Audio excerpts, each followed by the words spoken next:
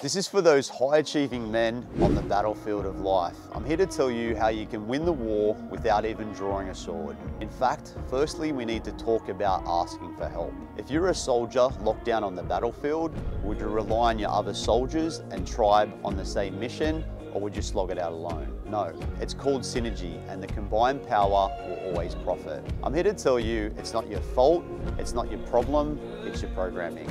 Your grandparents come back from war and were taught asking for help is always a sign of weakness. This domino then falls onto your parents and then it falls onto you. I'm here to tell you a true transformation of a man will happen when you're at your most pure or raw self. In fact, it's when you put down that sword and take off that armor that you wrap so tight in that you will fully transform. You have two choices in life. You have discipline now that weighs kilos or regret and that domino that's passed on from generation to generation until someone pays the price. It's your choice.